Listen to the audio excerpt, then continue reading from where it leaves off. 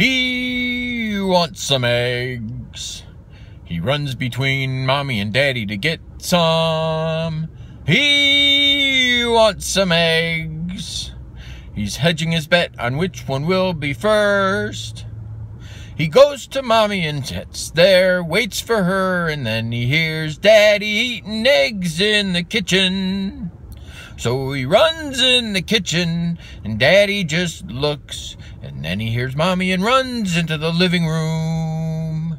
He wants some eggs. He's not sure if it's from mommy or daddy or B first. He wants some eggs. But he just keeps running back and forth.